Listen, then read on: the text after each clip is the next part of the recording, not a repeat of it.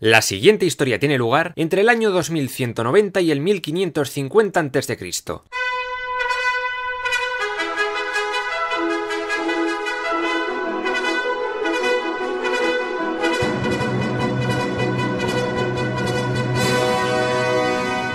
La crisis política surgida a partir de la quinta dinastía se agravó durante el reinado de Pepi II. Las grandes concesiones de los faraones al clero y el incremento de poder de los nomarcas debilitaron las instituciones de Egipto. Toda la riqueza del país se consumía en improductivos cultos funerarios y el país estaba estancado de cojones. Debido a los recortes dejaron de hacer tantas pirámides y muchos de estos reyes se tuvieron que conformar con mastabas e hipogeos, que eran como cámaras subterráneas. También destacan algunos cenotafios en habidos, tumbas sin muerto. Y a estos problemas hay que añadirle una muy grave sequía. Los próximos faraones se enfrentarían con estos problemas y otros nuevos, como una invasión de extranjeros asiáticos que conquistaría gran parte de su reino. Caballero, ¿qué le parece la noticia que está usted viendo? Pues nada, que, que van a joder todo.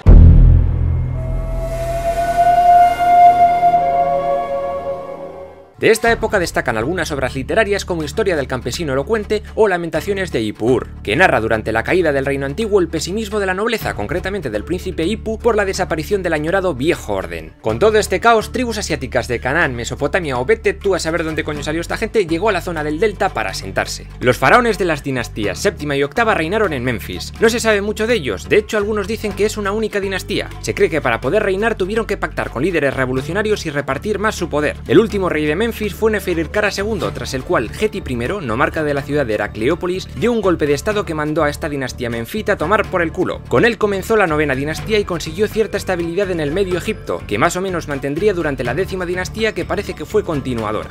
Eso ya es demasiado para mi cabeza. Casi al mismo tiempo, en el Alto Egipto pasó algo parecido. Los nomarcas de la ciudad de Tebas, actualmente llamada Luxor, establecieron su hegemonía en todo este territorio con la decimoprimera dinastía. Durante este tiempo, los gobernantes de Tebas y de Heracleópolis mantuvieron luchas constantes con la intención de controlar todo Egipto. Un poco como las luchas entre Larsa y Sin en Mesopotamia, que comenzarían más de un siglo después. Finalmente, alrededor del 2040 a.C., a mediados de la decimoprimera dinastía, el rey Mentuhotep II de Tebas conquistó la ciudad de Heracleópolis y consiguió por fin, volver a unificar el país en uno solo. Y es este hecho lo que daría origen al reino medio egipcio. ¡Toma! La sociedad estaba cambiando y con ella la religión. Osiris, antes un mero dios relacionado con las prácticas funerarias, se convirtió en la divinidad más popular. Ya no era un dios relacionado con la realeza, sino que las clases medias podían enterrarse y rezarle por una vida eterna. Era más cercano al hombre, pues sufría y tenía conflictos y mierdas, no como Ra, que como dios solar lo veían como muy lejano. También dioses tebanos como Montu, dios guerrero, o Amón, se hicieron un hueco en el top de dioses nacionales debido a la conquista de Tebas sobre el norte, y varios templos fueron construidos en su honor, como el de Karnak junto a Tebas y el de Tanis.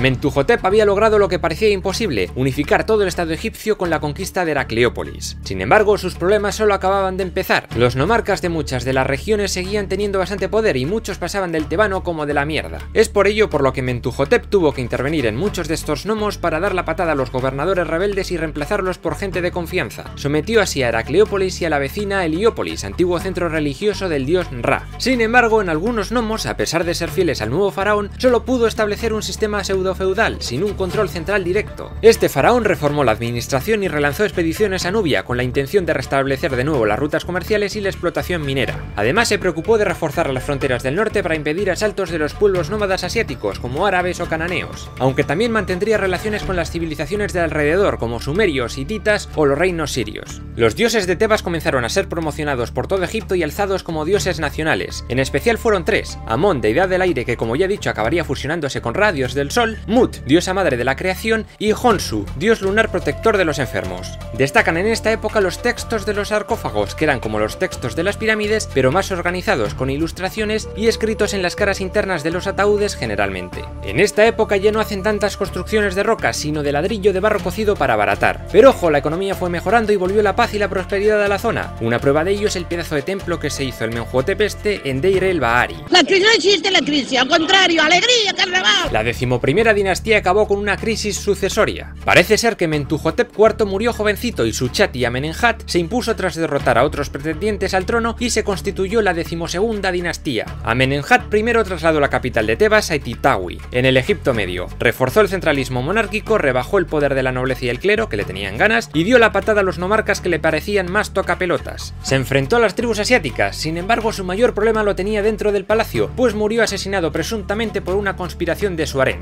Nossa, Como sabía que algo así podía pasar, hizo una cosa inteligente, instauró las corregencias. Su hijo gobernó con él durante sus últimos 10 años de vida. Este hijo, Sesostris I, se vengó de los que querían usurpar el poder y la línea dinástica no se interrumpió. Esto se narra en una obra literaria egipcia muy conocida llamada El relato de Sinué. La historia de Sinué comienza cuando este se entera de la muerte del faraón Amenenhat durante una campaña contra los libios y corre rápidamente a avisar a su hijo el príncipe Sesostris. A su llegada al palacio descubre que todo se trata de un complot y al no ser capaz de dar aviso sobre esta traición, su vida corre peligro y huye rápidamente de Egipto hacia el país de Retenu, en Siria. Allí se hace bastante popular entre los beduinos y comienza una nueva vida. Después de muchos años, finalmente vuelve a Egipto y el faraón le recibe muy bien y le prepara una tumba de la hostia para que viva para siempre. En la película la historia transcurre durante el reinado de Akenatón, al que conoceremos en el próximo episodio. Es la película más mala en todo lo que he visto de películas esta película. Sesostris I fue un rey muy guerrero y tras sus campañas contra los libios bajó a Nubia y llegó hasta la tercera catarata. Tomó minas de oro, cobre, alabastro y diorita y estableció guarniciones militares permanentes, como la fortaleza de Buen, que no llegaría a ver terminada. Sus sucesores someterían aún más a los nubios, pero aparte de esto también destacaron en sus intentos por mejorar la agricultura, añadiendo artilugios nuevos como el cigüeñal. Algo consiguieron con los años, ya que los cultivos de trigo, lino y vid alcanzaron un gran desarrollo, así como la explotación pesquera. El granero de Egipto fue la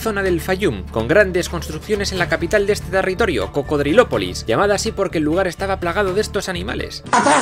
Destaca un ambicioso proyecto de irrigación con diques y esclusas para el drenaje del lago Mueris, todo muy currao. Esta obra es atribuida a Sesostris II y fue acabada por Amenenhat III. Fue este último quien se hizo un gran complejo funerario en Aguara, conocido como el Laberinto, y además levantó dos estatuas gigantes junto a un canal. Parece ser que durante el reinado de este faraón tuvo lugar la historia bíblica de José y sus interpretaciones de sueños, si es que la historia es real, claro. El comercio también fue muy importante durante esta decimosegunda dinastía, especialmente con la isla de Creta, que producía una cerámica que volvía locos a los egipcios. Me encanta, me encanta. De Biblos, en el actual Líbano, pillaban toda la madera que podían, que la zona estaba llena de cedros. Aunque eso sí, en un momento dado, no se sabe bien por qué, Sesostris III decidió atacarles y les hizo vasallos del reino egipcio, y lo mismo hizo con los nubios. Otros intercambios se realizaron con los somalíes del lejano país de Punt, productor de madera, oro, marfil, incienso, mirra, pieles y animales varios. Al Sesostris III este le preocupaba mucho las fronteras, estaba obsesionado. Por ello construyó multitud de fortalezas, también amplió y terminó la fortaleza de Buen, en Nubia, adelantada a su tiempo porque parece de la Edad Media. Tenía fosos, puentes levadizos y hasta catapultas. Finalmente se hizo una pirámide en Dasur, de la que ahora solo queda este mojón. ¡Una mierda! ¡Una mierda! Si queréis que algo perdure, no construyáis en Adobe. De esta época molan los textos de execración, que eran textos en figuritas que se maldecían y luego se rompían para intentar infringir daño al enemigo. Vamos, que esta gente ya hacía vudú. La última gobernante fue Neferusobek, y tras ella llegó la débil decimotercera dinastía que fue incapaz de mantener bajo su control toda la extensión del Egipto Medio y algunas regiones se independizaron. Otra vez volvió la fragmentación.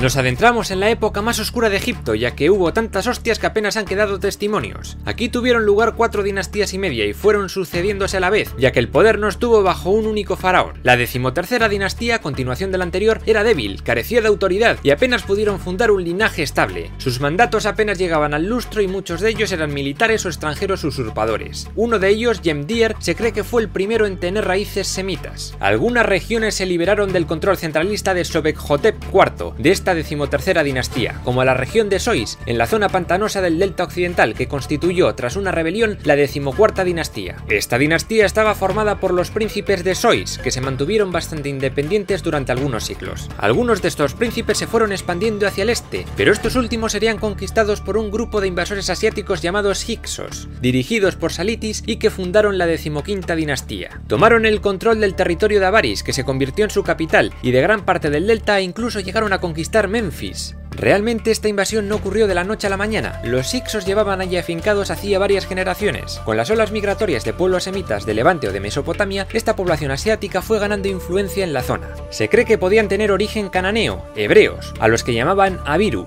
Aunque culturalmente estaban menos avanzados, fueron consiguiendo puestos de responsabilidad y cuando estuvieron seguros de su superioridad, atacaron. Mantuvieron el sistema organizativo egipcio, incluso a los mismos funcionarios y dioses. Realmente se consideraban egipcios, de hecho eran muy devotos del dios Set. Pero ojo, aunque de política no controlaban mucho, de técnicas bélicas estaban sobraos. Introdujeron muchas novedades en el arte bélico por toda la zona, como arcos compuestos o armaduras de escamas. La copés era una espada curva de bronce muy popular de origen cananeo, y se cree que fue a partir de aquí cuando empezaron a desarrollar carros tirados por caballos. Mientras el norte era invadido por los Hicsos y los nubios ocupaban el área sur del Alto Egipto, surgieron en Tebas, tras la decimotercera dinastía, algunos gobernadores locales que aprovecharon el vacío de poder del caído gobierno de Ipitawi y formaron una nueva dinastía de faraones, la decimosexta. Parece ser que no duró demasiado, pues fue tomada por los Hicsos poco después, que se habían aliado con los soberanos de Nubia para debilitarles. Esta efímera dinastía fue convertida en vasalla y de ahí que se la llame Pequeños Hicsos. Los primeros ejemplos del libro de los muertos pertenecen a esta época, quizás por la necesidad de los tebanos de hacer nuevas compilaciones de textos para sus rituales funerarios, pues lo tenían jodido para acceder a los archivos de Memphis, tomada por los invasores.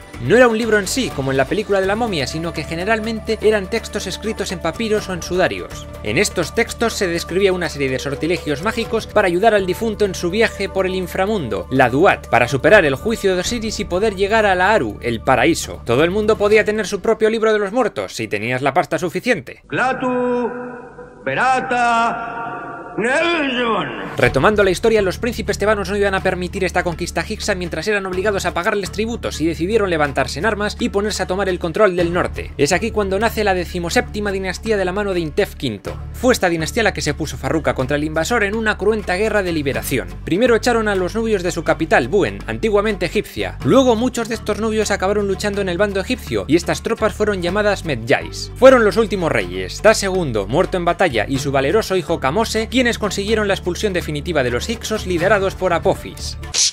¡A tu casa! Dicen que estos hechos pudieron tener relación con Moisés y la historia bíblica del Éxodo, y a su vez con la erupción del volcán de la isla de Tera que acabaría con los minoicos y daría origen muy probablemente al mito de la Atlántida, una erupción que pudo joder a Egipto en forma de 10 plagas. Pero eso es otra historia y hablaré de ella más adelante.